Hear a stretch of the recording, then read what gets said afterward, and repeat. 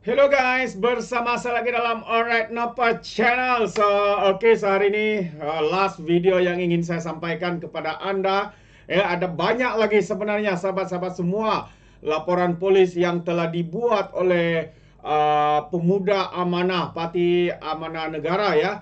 Dan seka, uh, setakat jam 7, uh, 7 petang tadi dikatakan ya hampir bukan hampir ya 30 laporan polis ya 30 laporan polis telah pun dibuat oleh pemuda amanah terhadap Didi Chronicle ini. Ha, memang jadi kronik lah dia lepas ini sahabat-sahabat semua. Jadi saya tidak pasti sebenarnya adakah atas kesombongan, keangkuhan ataupun kebodohannya sendiri. Ya akhirnya memakan diri sendiri dan merugikan diri sendiri sahabat-sahabat semua. Dengan membuat video seperti ini tanpa berfikir panjang.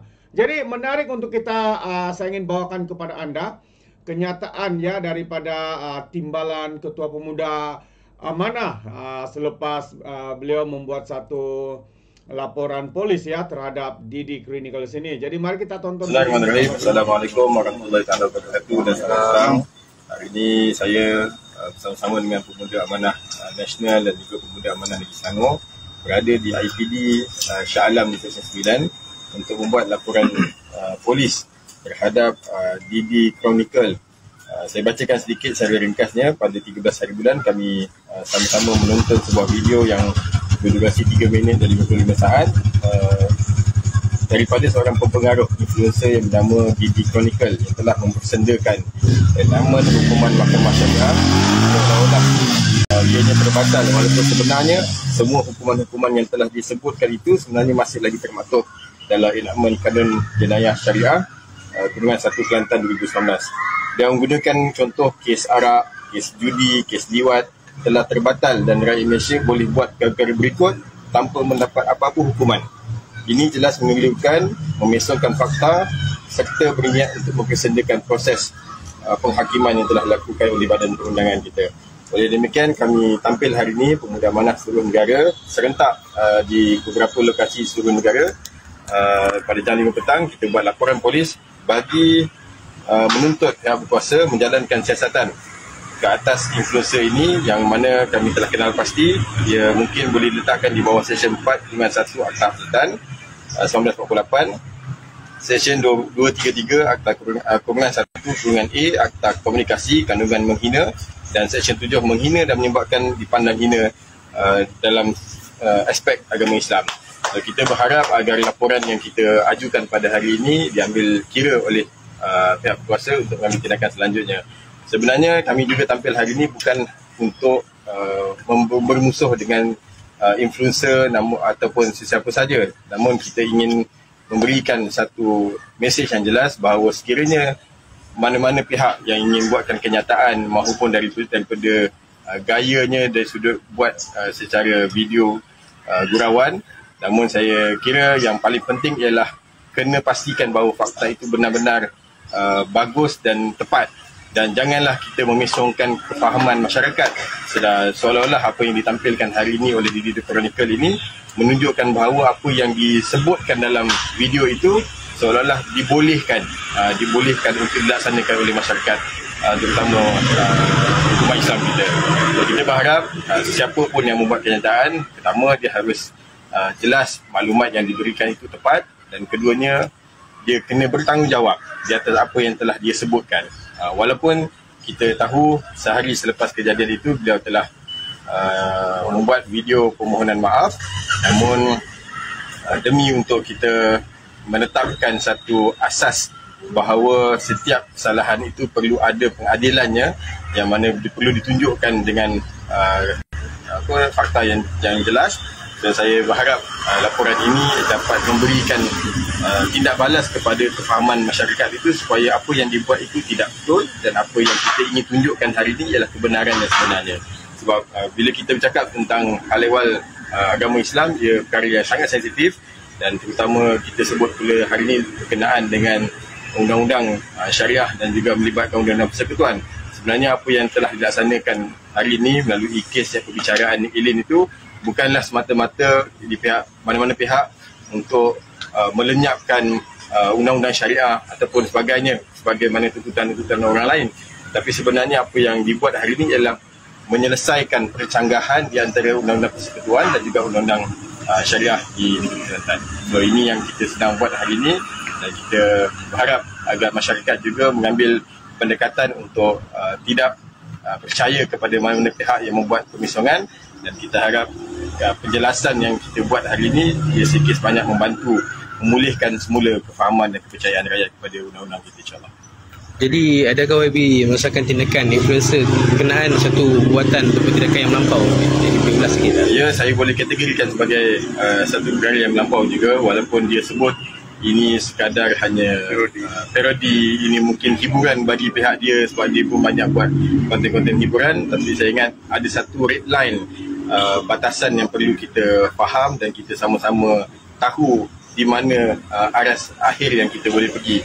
Saya mungkin nak sentuh satu tentang uh, pandangan daripada seorang peramal uh, undang-undang undang syari'i yang disebutkan uh, putusan mahkamah ni adalah putusan yang terbuka mana sesiapa pun boleh, boleh akses. Namun uh, dalam berkaitan tentang seseorang itu untuk uh, menyatakan rasa tidak puas hati kepada satu-satu undang-undang yang telah ditetapkan itu dia perlu ada uh, satu batasan dan dan jika dilakukan sesuatu perkara itu dia boleh didakwa di atas kesalahan menghina keputusan mahkamah.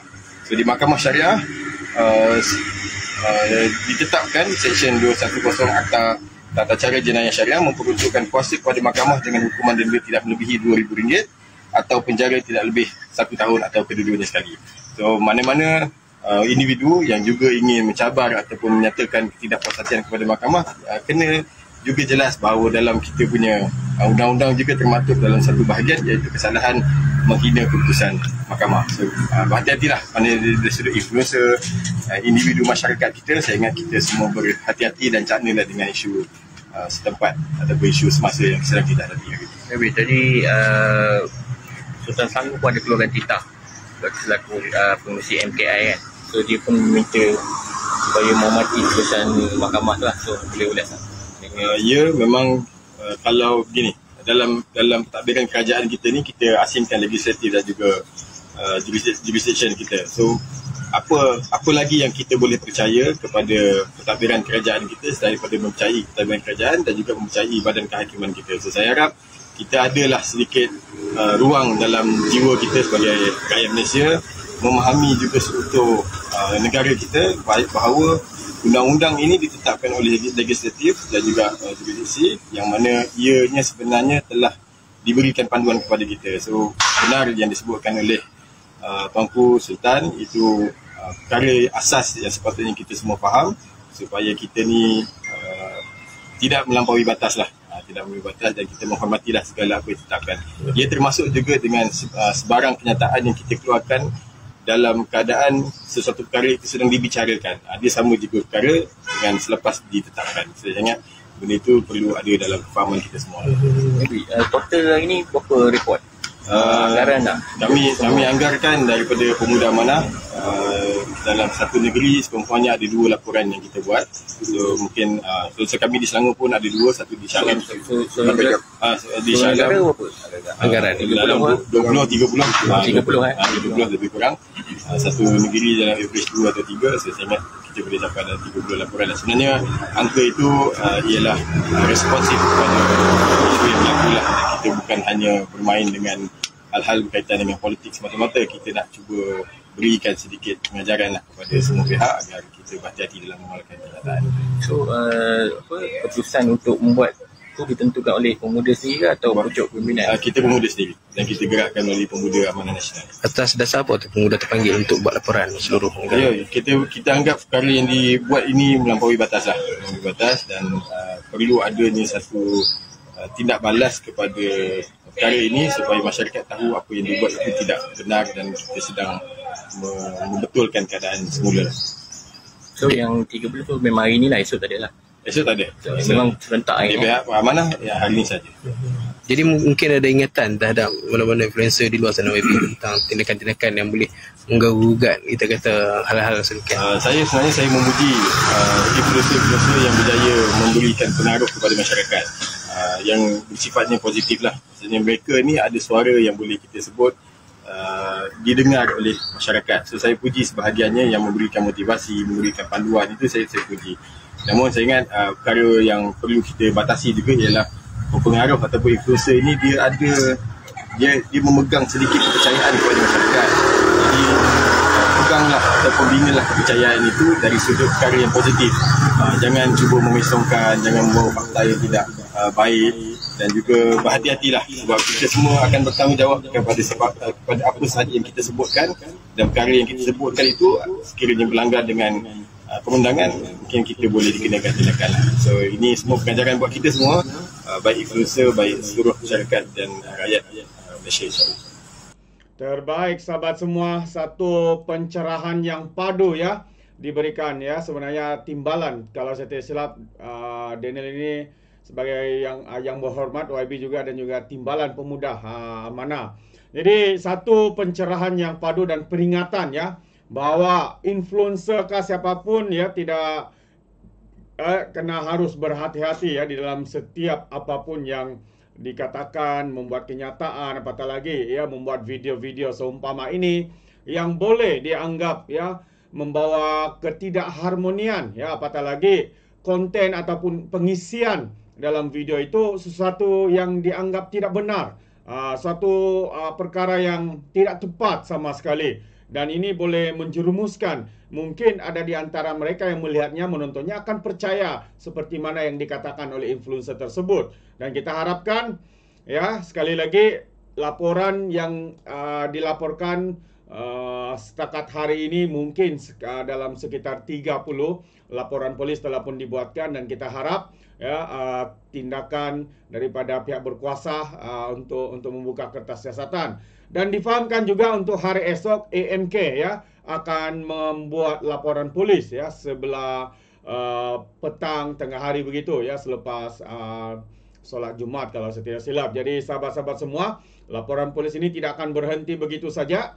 Ya, laporan ini akan terus uh, diteruskan walaupun individu yang terkait ini dikenali sebagai Didi Chronicle ini telah pun memohon maaf, tapi permohonan maaf itu ya walaupun kita sebagai rakyat Malaysia saya sendiri menerima ya tetapi bagi penangan dan juga pendirian kita ya tindakan wajar harus dilakukan supaya mereka tidak mengulangi perkara ini di masa hadapan lagi.